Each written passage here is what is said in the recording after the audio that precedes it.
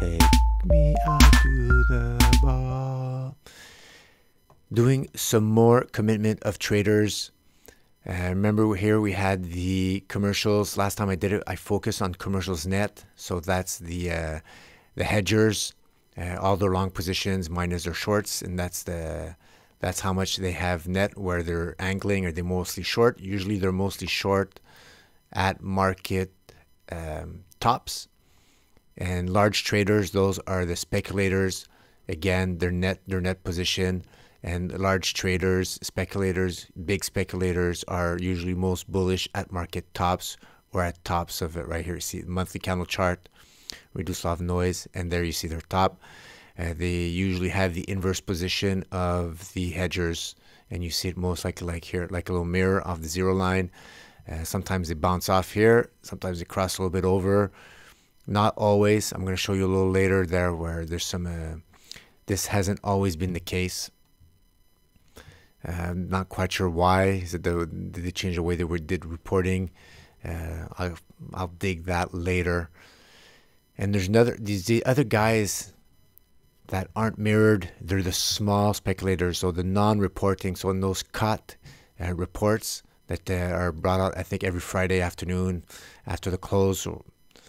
Um, here you have the non-reporting, so the small speculators, and they're interesting because they help you uh, discern or add weight or add uh, clues to uh, when in the weight of evidence. Am I a market top?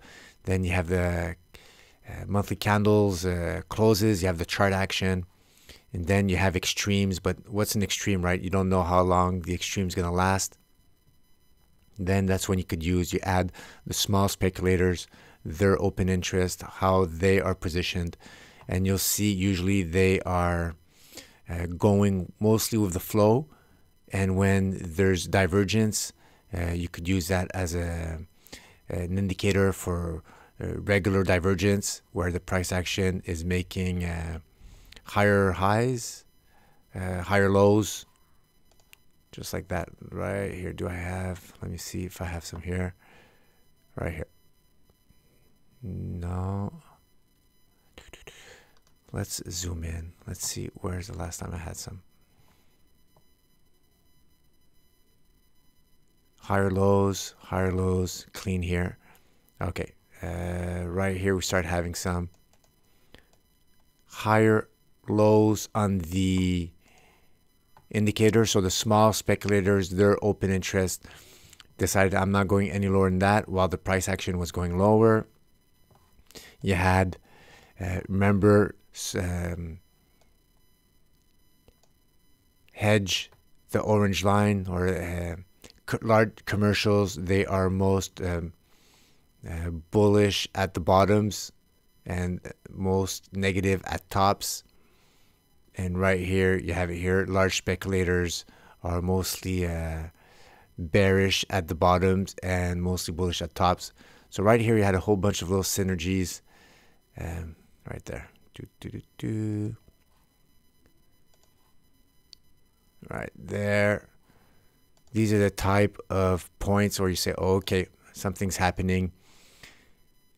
And then what I dabble a little bit is you can draw trend lines on uh, on the in, on the non-reporting on the small speculators. Here's one level here. Here's another one right here when you're below, I've uh, not always, but close to 20,000. Sometimes it's it changed over the years. So when you're in the zone, it continues the trend. When it goes over, combining that with uh, the extreme positions of the uh, lar- of the commercials and the uh, large speculators, combine that with I'm going to zoom in here. A breakout above. You know what? I want to add my moving average favorites. Moving average. There you go. I want to pop in a 12 month moving average. Do, do, do. Okay, there you go. Then got to close above an inclining, above a 12 month average, starting to make it incline above horizontal breakout line. Uh, this is giving you clues that this was a solid bottom right right here at these levels. Divergence with the price action on the monthly candle chart, break above uh, previous one test, two tests, and then you had a bigger bottom pattern right here. You closed above it. Oh, even did a retest here. And here is when the market also decided, okay, we're stopping this downfall, but it started going sideways move. The then you could draw another trend line right here or high. You want to overcome the high. And another one right here. So when you, you're starting to go through these levels, uh, you're starting to go in bull mode. So this is extreme below, uh, let's say 15,000. You're in bear mode, continuation of the trend. Uh, right here, it could have been going upwards, but decided to uh, um, stage one, stay slowly transition. But after all this time, right here, it's trying to go in upwards territory. Right there. So could have a little work. Could this could dip a little bit more here. Go to extremes. Right here, you have another situation. I've highlighted this before in the previous uh, podcast I did on COT but I didn't have the speculators, which are the mirror image of the commercials, but not always. And right here, this is what I'm expecting. At, right here on the monthly candle chart, we're doing going to do bottom, and then we're going to go up, based on the speculators that are the small speculators that are going to start going bull mode, uh, increasing the position size. And you're going to see it here. I was trying to go back in the past. Right right here when before we had this crazy crazy run. Okay i'm going to back up. Do, do, do, right here you see the shift. Oh. Starting to go back above this uh, the 20,000 line right here. Go back above. Right here going to the power zone never every time they came to test that uh, that breakout line came back above and what happened here back in the days? Do, do, do, yeah, here's where it gets messy, guys.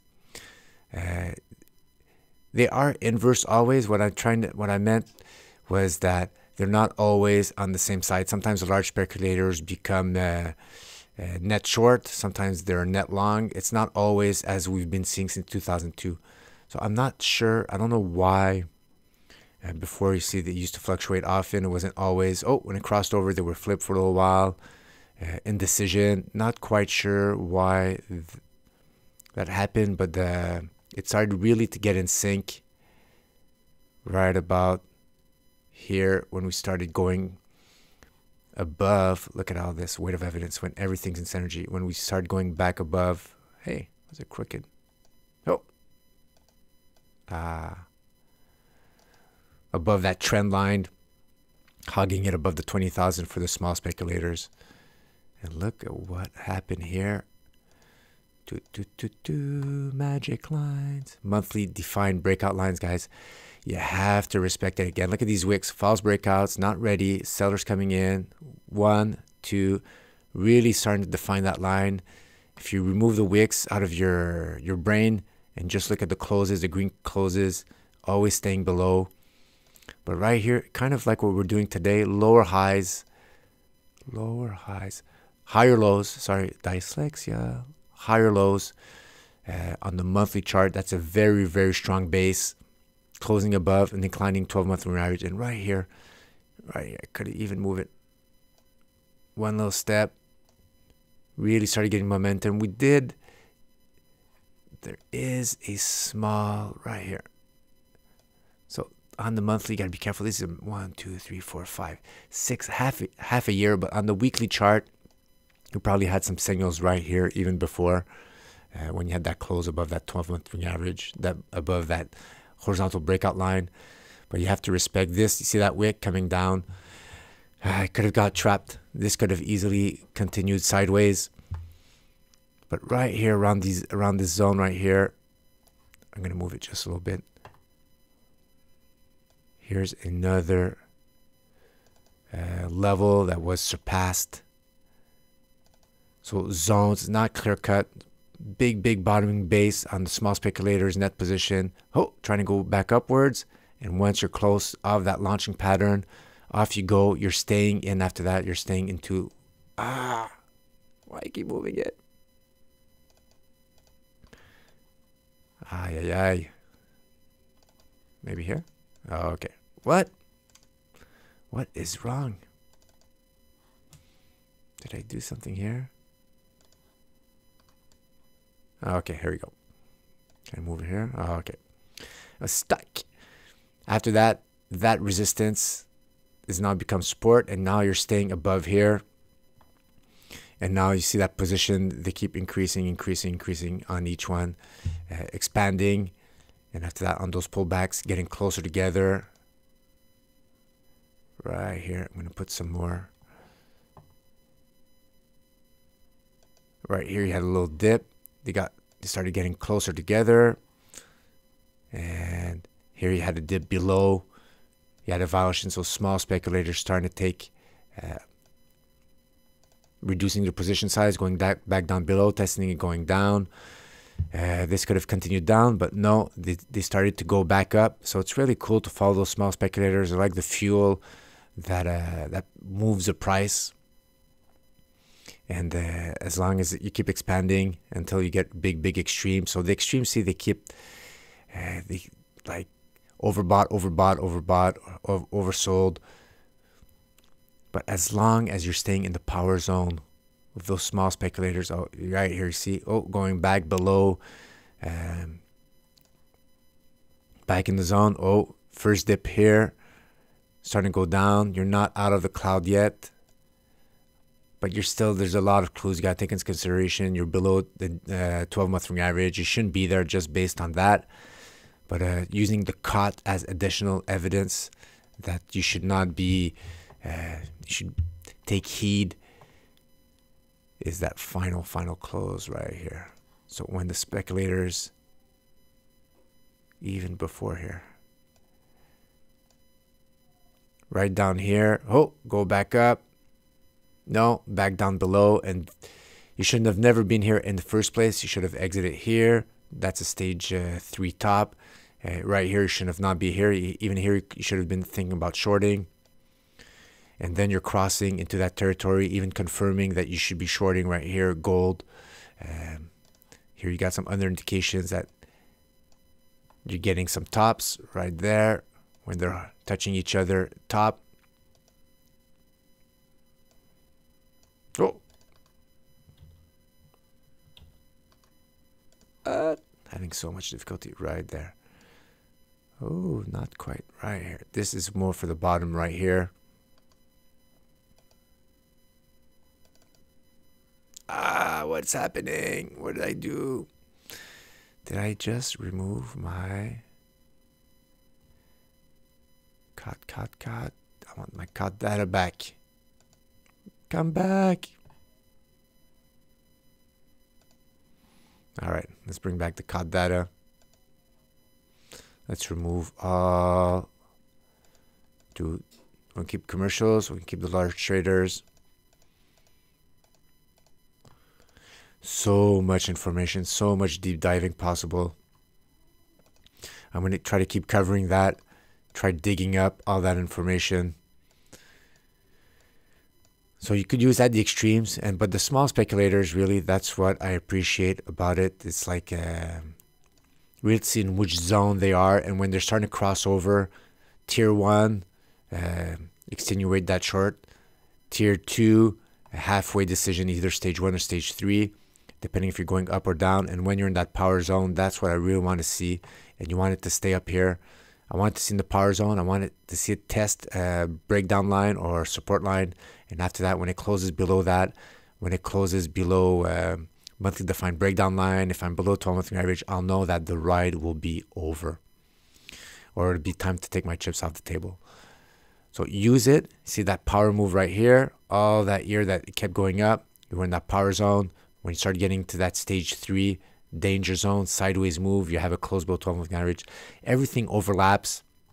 That's why trading frameworks, they never judge them. They're somebody's looking at a uh, doing Elliott wave. Somebody's doing uh, um, Bollinger Bands, they all eventually are rely on the price action and have all have similitudes. After that, you go with what you're more comfortable with.